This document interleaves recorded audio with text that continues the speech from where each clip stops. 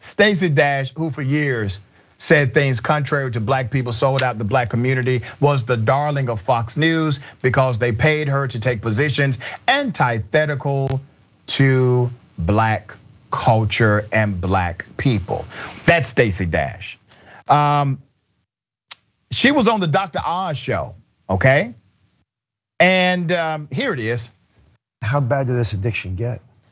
Uh, I was taking 18 to 20 pills a day. 18 to 20 Vicodin a day. Yeah. That's expensive. Yeah. I lost everything. I just celebrated five years of sobriety. I'm clean, five years. And in this five years, my blessing, the greatest blessing is that not only have I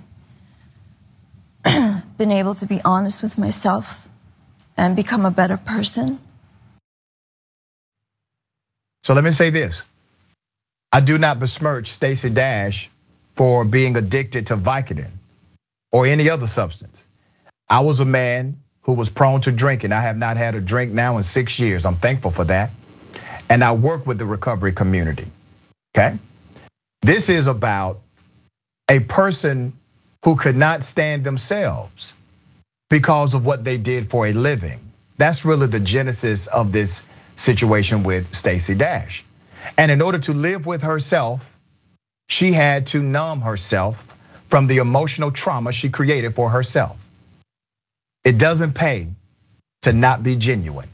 It does not work out for you well emotionally if you are not authentic. Let this be a lesson for anyone who engages in this type of extreme adversarial behavior to communities that support you. All right? Trae, what are your thoughts? I mean, I'm from rural Tennessee. I know all about pills. Uh, you know, my family has been ripped apart by the opioid epidemic. My mom is a recovering addict. So you know, I, and I know a lot about it, and it's a very serious problem. And as this is evidenced by this, it's a nationwide thing now. It's not just in like coal country and places like that where it started. Right. And it's uh, you know, it will change people and make them do things that they would not otherwise do, and that's the truth. And it meant, you know, it poisons their mind and whatnot. So I don't know. You know, she said and did a whole lot of pretty not cool to say the least stuff. But if she's clean now for five years, and if she's saying that those were mistakes and she's trying to change and do better and all of that, then you know, good for her, I guess. I mean, at least yeah. on the sobriety front, if nothing yeah. else. More power to on that. I agree with you 100%. Trae.